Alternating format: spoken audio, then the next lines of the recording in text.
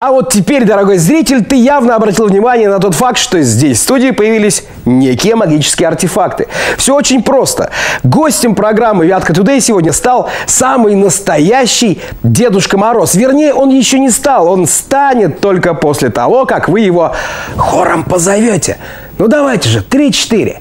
Дед Мороз. Слышите музыку? Это значит, что дедушка уже Эй, иду! Дратути! Дратути! Дратути! А? Ну, здравствуй, дедушка, рад тебя видеть. а что имел человек? Заждал, заждал себя здесь твой посох. А, вещички мои тоже здесь. Ну, как звать, величать тебя, мил человек? Зовут меня Роман Корнеев, дедушка. А я Дед Мороз. Да не простой. Ну-ка приглядись, посмотри, вместе со зрителями ответьте. Какой я Дедушка Мороз? Ну, судя по тому, что у тебя орнамент на пузике Да. вятской. Точно! Вятской Дедушка Мороз, у него картошкой... Нос. Молодец! Стихи-то можешь складывать, нет? А, если б дедушка пришел к нам, я бы сильно танцевал, потому что я без деда сегодня очень мало спал. Экспромт, между прочим. Потрясающе!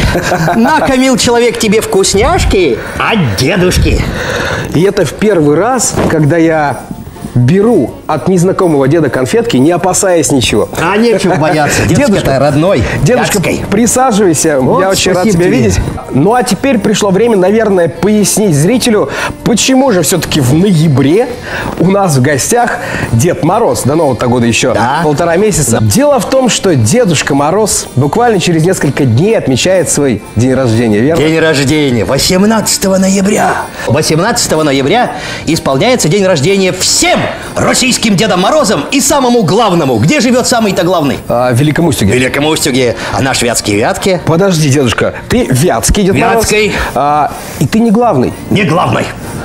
Я наместник главного Деда Мороза. Ну, как это сказать? Смотрящий на вашем языке. Получается, что ты э, зимний король Вятки. Да. И Дед Мороз из Устюга тебя короновал. Э, я тебе скажу по-другому. Каждый год он мне дает индульгенцию, грамоту по-вашему. Потому как родом я из этих мест. Знаю все я тут окрест. Там вон речка, там овраг. Расскажу вам все без враг. Я ведун, лесной волшебник. Ну а по-простому маг.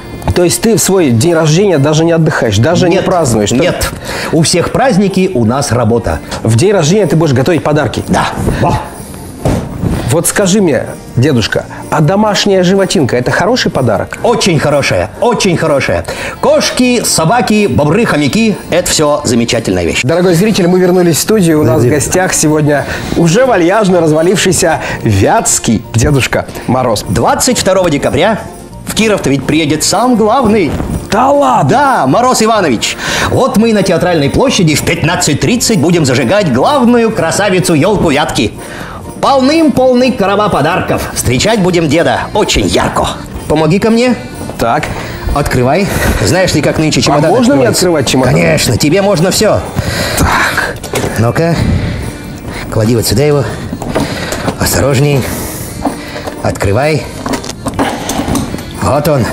Крибле, крабле, бомс. Вот, видишь? Держи-ка.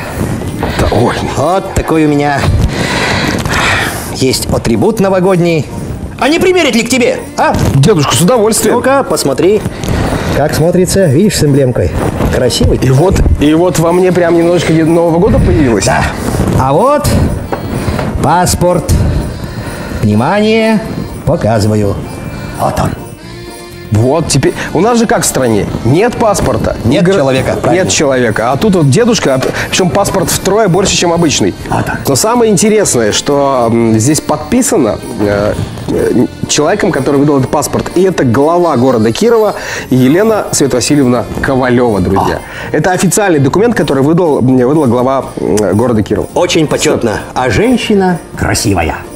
Ой, дед, ой, дед. Ну, как тебе мой посох? Посох волшебный, посох э, сказочный. Дедушка Мороз – это тот, кто всегда приносит немножко волшебства в нашу, в нашу жизнь. Я хочу, чтобы немножко волшебства случилось здесь, в студии. Пожалуйста. Посох мой не морозильный, а компьютерно-мобильный. Да, дедушка продвинутый.